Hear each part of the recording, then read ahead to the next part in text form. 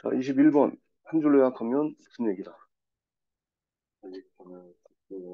내용 요약 1번.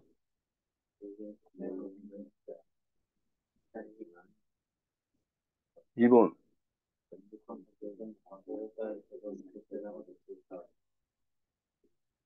어, 무급대사란 말은 뭐야? 그렇지. 보수를 받지 않고 어떤 나라의 대사처럼 어떤 회사의 어, 대리 그 영업사원 역할을 할 수 있다는 거죠. 3번.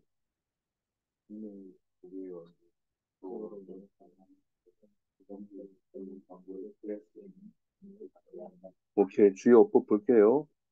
간접 의문문 보니까 Why do you care? 당신은 왜 신경 쓰나요? 어떻게 어떤 고객이 어떤 구매에 대하여 반응하는지 여기 보니까 how 의문사지 그치? 예. 또 뒤에 주어 동사 나오는 간접 의문문 형태가 나왔고요. 2번에도 보니까 뭐 likely food of 뭐뭐에 대한 가능성 그랬지 그치? whether가 뭐뭐인지 아닌지 이런 명사절을 이어진 연결사로 쓰이면서 의주동이 됐지요. 어떤 바이어가 그 제품을 재구매할 것인지 아닌지에 대한 가능성 이렇게 해석하면 되고 3번에도 보니까 또 명사절에 나오는 어, 연- 명사절 연결사 어, 왜도 뭐뭐 인지 아닌지가 나와있지 그치? You will also determine. 당신은 또한 결정할 것이다. 뭐를? 바이어가 A로 하여금 B를 B를 하도록 아, 권장할 것인지 아닌지를 어, 결정하게 될 것이다. 이런 얘기죠. 이번에 보니까는 더 opinions of people 사람들의 의견 그랬는데 뒤에 보니까 그들은 안다 그랬지. 뭐를 안다가 안 나왔죠? 목적 안 나왔는데 they 앞에 관계대명사 목적격이 생략됐다. 그래서 그들이 아는 사람들의 의견 이렇게 하는 거고 3번에는 목적어 자리에 나오는 어, 목적어 자리에는 나오는 완전한 문장을 이어주는 연결사 대신 나온 거지. 단골이라고 그랬지. 자, 근데 이게 또 병렬로 쓰이기도 했어요.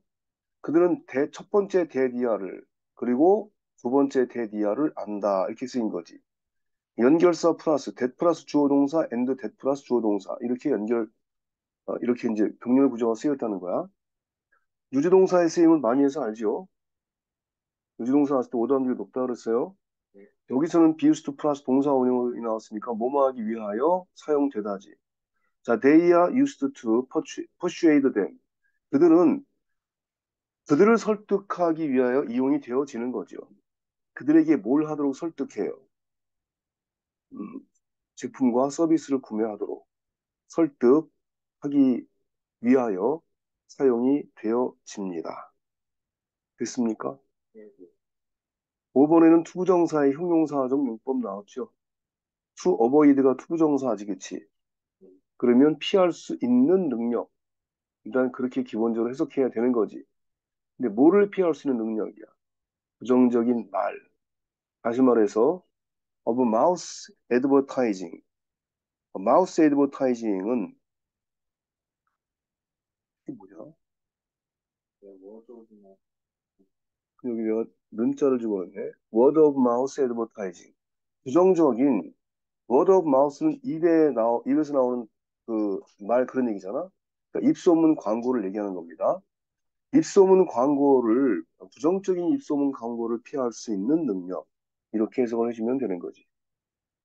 됐습니까? 자, 그럼 이제 본문으로 들어갈게요. 21번 보니까 Why do you care? 당신은 왜 신경을 쓰나요? 어떻게 어떤 고객이 어떤 구매에 대해서 반응하는지 왜 당신이 신경을 쓸까요? 이거 좋은 질문입니다.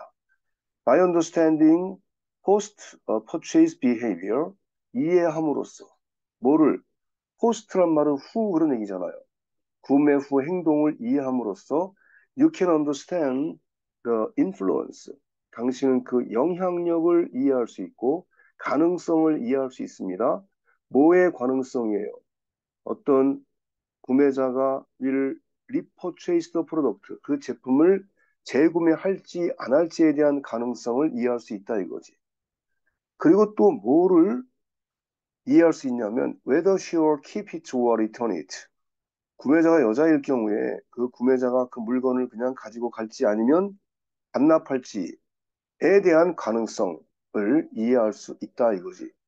사람이 물건을 구매했을 때 그 사람의 반응이 어떤지를 예의주시해서 신경 써서 봐야 된다. 중요하다. 그런 얘기하는 거죠. 많은 것들을 시사해 주니까.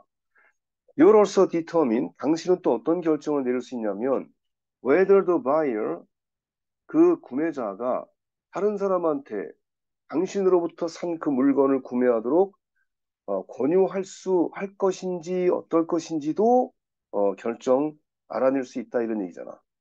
결정한다는 얘기는 안다는 얘기입니다. 자, satisfied customers 만족한 고, 고객들은 can become 뭐가 될 수 있어요? 무급 대사가 될 수 있다는 거지. 당신의 비즈니스를 위한 어, 보수를 받지 않고 대리 영업사원과 같은 무급 대사가 될 수 있다는 거죠.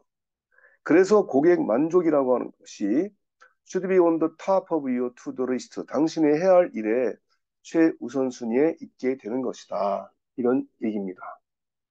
됐습니까? 아, people, 사람들은 tend to believe, 믿는 경향이 있어요. 뭐를 믿어? 사람들의 의견을 믿지. 어떤 사람들, 대의 앞에 관계되면서 목적적 생략됐다고 그랬어요. 그들이 알고 있는 사람들의 의견을 믿는 경향들이 있다. 자, people trust friends over advertisement any day. 자, 어떤 날 광고보다 친구들을 더 신뢰한다. 이런 얘기지요.